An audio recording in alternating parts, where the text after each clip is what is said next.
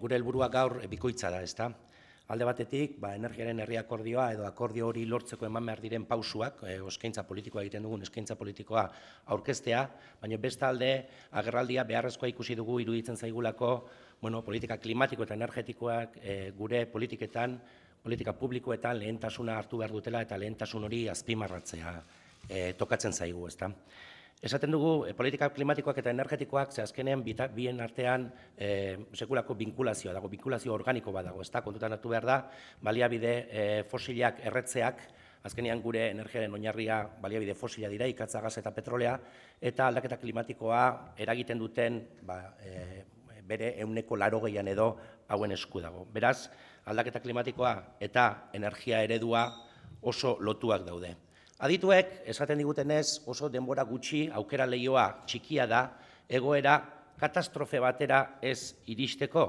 Beraz, premiazkoa da, gaia lentasunezkoa izateaz gain, oso premiazkoa da, gaurtik aurrera, erabaki eraginkorrak hartzen astea eta adostasun handiarekin, ezta? Arraldok esan du, nik ez dut askoz gehiago esango, egoera kaskarra da, energiaren eta klimaren inguruko euskal politikak ez dira izan arrakastatxuak, eta gaur egun gure inguruko herrialdeak baino egoera kaskarrago batean abiatzen gara. Gure menpekotasuna izugarria da, berriztagarrien garapena oso eskasa izan da, eta egoera irauli beharrean gaude.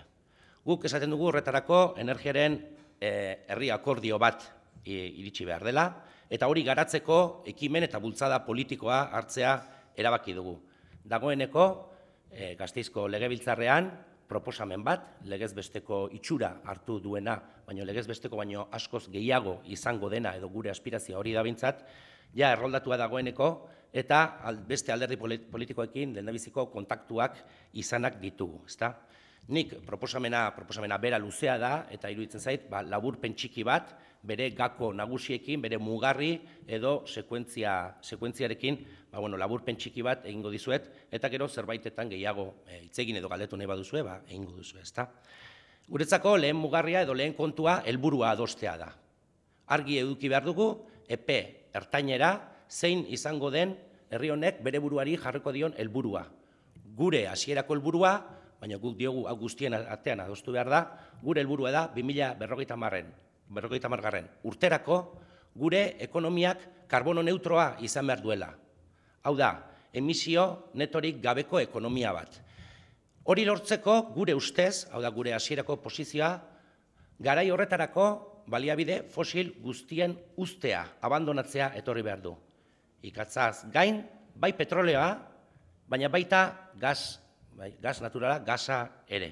Iruditzen zaigu, hori ba, ekidin ezina dela, ekonomia, ba, karbono neutro ekonomia batera iristeko 2050 urtean.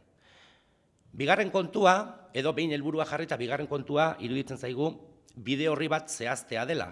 Hau da, helburua hori izan da, nola iritsiko gara horra, zer pauso eman behar diran, ze arlo, zer sektore ikutu behar diren, horretara iristeko eta bitarteko helmugak ipini. Hau da, helburua ez da bakarrik 2050 marrean izango, baizik bitartean bete behar batzuk etorri beharko dira. Horretarako, horretarako iruditzen zaigu ez norbanako batek, ez alderdi politiko bakar batek, ez eragile bakar batek ez duela gaur egun e, irtenbide edo soluzio oso bat. Ze irtenbidea edo soluzioa ba, bide horri integral bat izan izatea ba, beharrezkoa delako. Guk esaten duguna da, adituen lan talde bat osatu behar dela e, lan hori idazten, estenatoki desberdinak idazten hasteko, eta horrekin batera, adituen lantalde horrekin batera, parte hartze prozesu zabal bat ireki behar dela. Bide horri, e, hobekiago e, diseinatzen laguntzeko. E, lan honentzako urtebeteko epea aurre ikusten dugu. Vale, irugarren mugarria, edo irugarren puntua izango litzake, behin bide horri, adituen lantalde horrek osatzen, ekarpen guztiekin osatzen duenean, bide, e, bide horri gauzatzeko e, akordio, konpromiso politikoa sinatzea.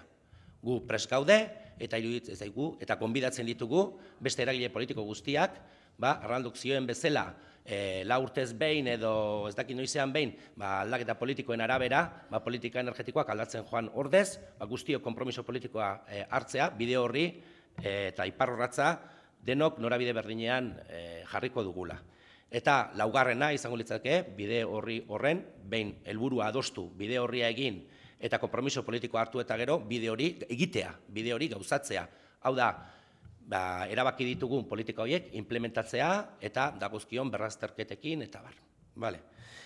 Iruditzen zaigu, Henik funtsean hori dela esango duke, proposatzen dugun eh, herriakordia, edo horiek dia guk proposatzen ditugun oinarriak, eta iruditzen zaigu, bueno, ba, borroka, e, bueno, e, aldaketa klimatikaren aurkako borroka, eta baliabide fosilak atzean usteko e, erronka hau, zibilizazio erronka bat dela, erronka zaila dela, baina aldi berean oso erronka polita edo aukera batean bihurtu dezakegula herri bezala egoera zailen aurrean ba, bueno, ba, burrukak egiten eta eh, ongi ateratzen ohituak e, gaudelako, ezta. Iruditzen zaigu, ariketa kolektibo honek, gu guztiok, zuek guztiok, e, involukratu nahastu behar gaituela, zaituztela, eta hasi garela guztion artean irudikatzen, irudikatzen nola mugituko garen hemendik urte batzuetara petrolik erabili gabe, nola berotuko garen gasik erabili gabe eta nola egingo ditugun egunero egunero egiten ditugun gauza guztiak balide fosilak atzean uzten seguruenik aldaketa asko etorriko dira, politika asko aldatu beharko dira, politika, e, ba, bueno, industria politika, irigintza politika, mugikortasun politika, lurralde plangintza politika, eta guzti horretan pentsatzen, nik uste ariketa, herri bezala, ariketa kolektibo oso potola daukagula.